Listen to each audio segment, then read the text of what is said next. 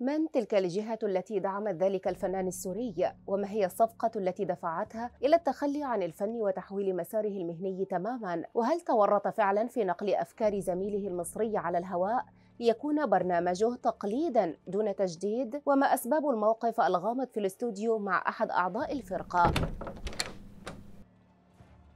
لا يكاد ذلك المذيع السوري صاحب المحتوى الأغرب يفارق أزمة حتى يدخل في أخرى أشد منها صعوبة. حلقاته الجريئة المذاعة على المشاهدين في تلك القناة أصبحت كل حلقة منها كفيلة بأن تضعه أمام محكمة الجمهور التي وحدها هي القادرة على تقييم أي محتوى إعلامي مهما كان شأن مقدمه فكيف تحول ذلك الفنان السوري عن مساره؟ اعتلى همام حوت سريعا خشبة المسرح السوري بشغف شديد وكانت هذه بداية علاقته بالجمهور لكن دوام حال همام كان من المحال فقد اتخذ الرجل قرارا بتغيير بوصلته الفنية وبدأ الاهتمام بالشأن العام وحده وكأنه قطع علاقته بالفن إلى الأبد فمن كان وراء صفقة توقف الفنان ظل توقف همام عن العمل المسرحي لفترات لغزا محيرا لجمهوره والذي لطالما اعتاد انتظار مسرحياته التي تطرق كثير منها إلى الشأن العام العربي.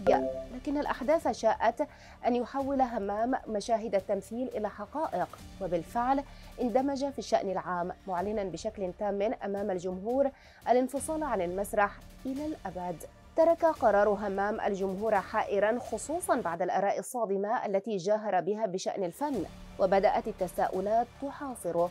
فهل اعتنق ذلك الفنان مذهبا يحرم عليه استمرار العمل في التمثيل أم أنه دخل في أزمة بسبب مستحقات مالية طلبها نظير عمله؟ بينما لم يتم استيفاء حقه. لكن همام أعلن للجميع بأن الفن لا يضمن تقديم مساعدة فعلية لمن يستحق الدعم أوقات الأزمات. وأثار همام حوت الجدل مرة أخرى فبعد أن صرح جمهوره بآرائه في الفن كان هو ذاته الأشد اهتماما بالظهور أمام جمهوره في ثوب فني جديد من خلال برنامجه الأشد جرأة لدى الجمهور السوري. حينما قرر المزج بين الفن والتقديم التلفزيوني والفن بطريقة فتحت باب لانتقادات واسعة أمامه خصوصا وأن فكرة برنامجه تشابهت كثيرا مع برنامج مماثل كان يقدمه طبيب الأسنان المصري الشهير باسم يوسف. وأمام محكمة الجمهور عاود همام تكرار الصدمات التي واجه بها الجمهور من دون احتساب تداعيات المواجهات. المرتقبة والتي من الممكن أن تنتهي بذلك المذيع حتما إلى أزمات قضائية لا طاقة للحوت بها. الأسلوب الذي تعامل به همام لم يسلم منه مسؤول ولا حتى زملاؤه الفنانين حيث قرر أن يحاسبهم على مواقفهم أمام الرأي العام وعرض لهم مقاطع فيديو مثيرة للجدل.